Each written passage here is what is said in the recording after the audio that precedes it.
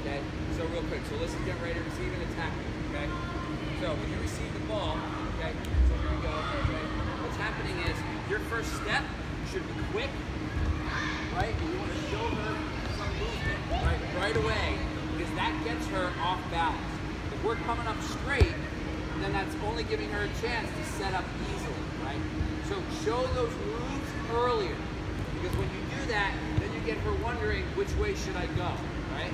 So about 10 yards apart is where you want to show movement this way or that way,